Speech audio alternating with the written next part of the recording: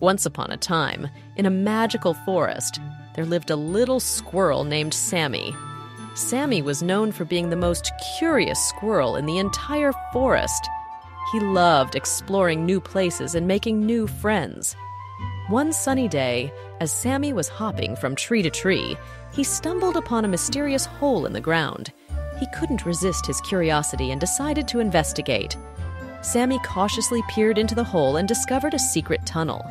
Excitedly, Sammy ventured into the tunnel, not knowing where it would lead. As he walked further, the tunnel opened up into a hidden meadow filled with colorful flowers and tall grass. It was a place he had never seen before. In the meadow, Sammy spotted a group of animals playing together. There were rabbits, squirrels, and even a friendly deer. They welcomed Sammy with open arms and invited him to join their games.